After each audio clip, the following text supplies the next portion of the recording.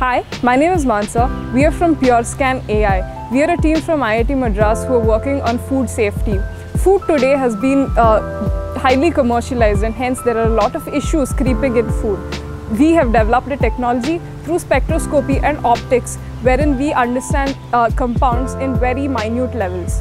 So ZTM has helped us understand the the very crux of how we could take this into business.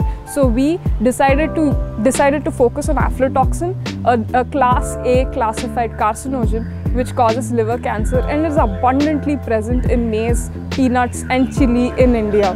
So uh, so ZTM and Arise has helped us in understanding how we could take this as a business ahead.